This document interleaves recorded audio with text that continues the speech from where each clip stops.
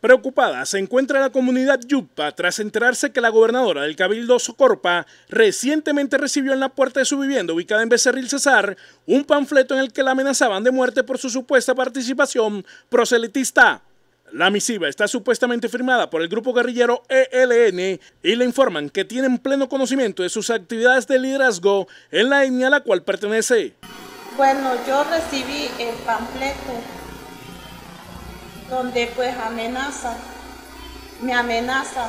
Y también quiero decir que en menos de un mes hemos, en mi casa mi familia recibió dos amenazas con esto. La hija mía que está aspirando a la, al consejo de Becerril recibió también una amenaza el día 27 de julio. En menos de un mes hemos recibido dos amenazas.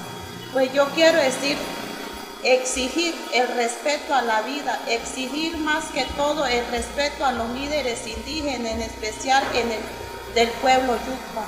Exigir ese respeto a esa vida, porque nosotros lo que reclamamos es nuestros derechos, nosotros estamos es trabajando por nuestra gente, ayudando por el bienestar de nuestro pueblo Yucpa. Esta situación la pondrán en conocimiento de las autoridades competentes próximamente para que hagan las respectivas indagación de los hechos. Pues eso veo que nos ha como que dejado un poco desamparado, pues no está, no está como que al tanto porque hemos puesto, como leí, muchas denuncias, demandas, pero esto han quedado las demás autoridades que también han recibido estos tipos de amenazas pues no le han solucionado absolutamente nada y más cada día en Colombia se ve el asesinato de muchos líderes indígenas y se está viendo más el asesinato de líderes indígenas.